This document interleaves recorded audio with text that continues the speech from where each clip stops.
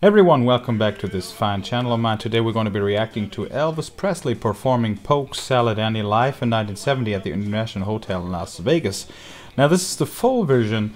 There is a version that is like a minute shorter uh, that isn't quite complete. So we're going to be reacting to this song. I'll give you my thoughts afterwards. You can leave your thoughts in the comments down below and let's jump right into it.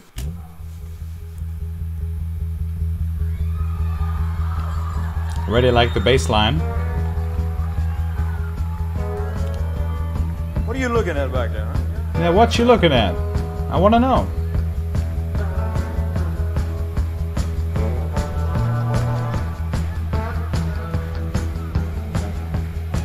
Some of y'all never been down south too much.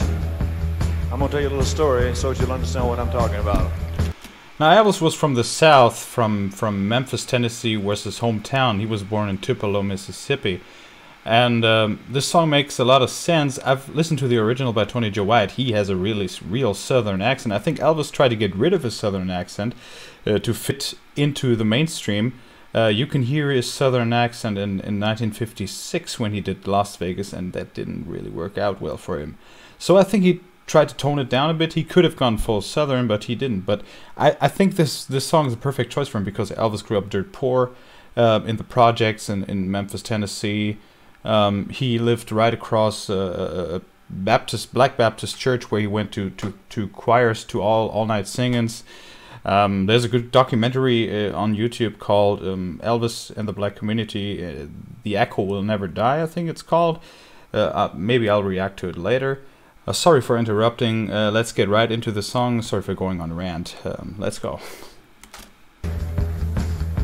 Down there we have a plant that grows out in the woods and the fields. And it looks something like a turnip green. And everybody calls it polk salad.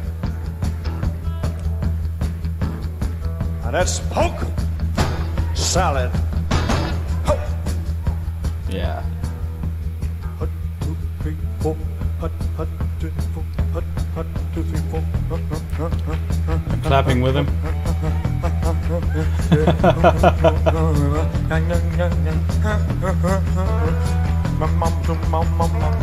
He was a big goofball. Yeah, yeah, he was goofy.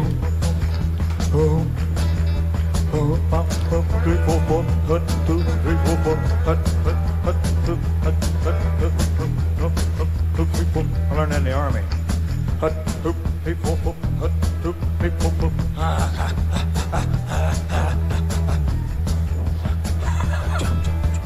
What the hell, man? Anyway, I used to know a girl lived down there.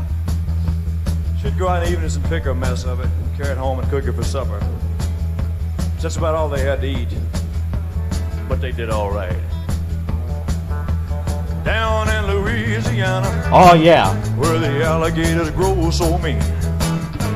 Lived a girl that I swear to the world made the alligators look tame. Oh, Polk salad Annie. You got your granny. Everybody said it was a shame Cause her mama was a working on the chain gang.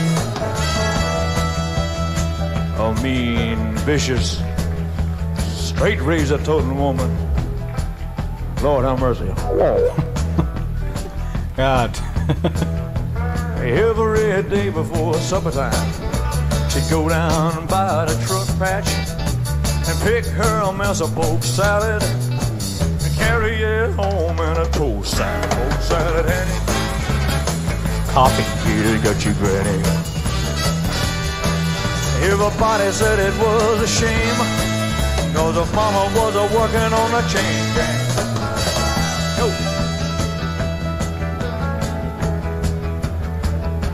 Suck a little post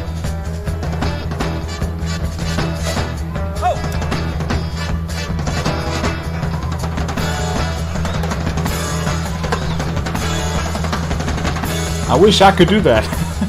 she wishes so too. now, I think that's the director's note that he got, or it's the lyrics. Who knows? Her daddy was lazy and no count. Claimed he had a bad back.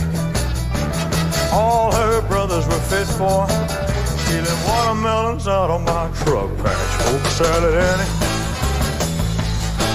just got you ready.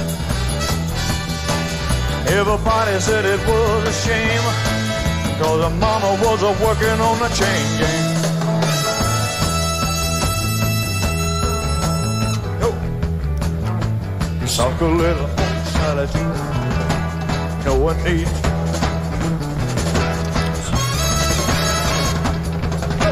suck a little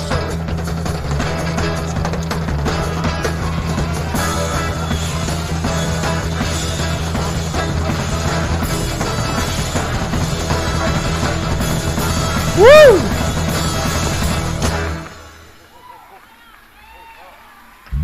He's in full control. Help! You're right, you're right. He wasn't. The drummer corrected the beat.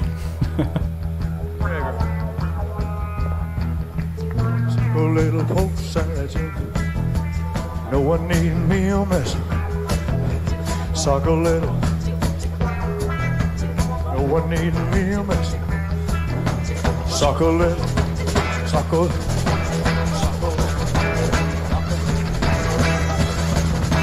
Help!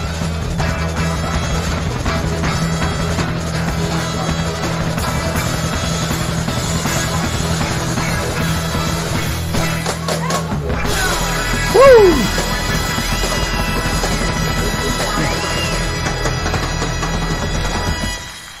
Yeah, what a song. Thank you. What a song that was! Polk Salad Annie by Mr. Elvis Presley, performed at the International Hotel in Las Vegas, Nevada.